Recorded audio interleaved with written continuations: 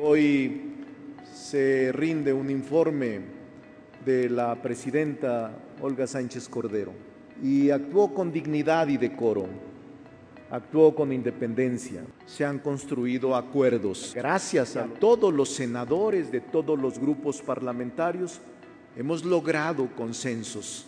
Pueden ustedes imaginar que el 80% de nuestros productos legislativos han sido aprobados por unanimidad.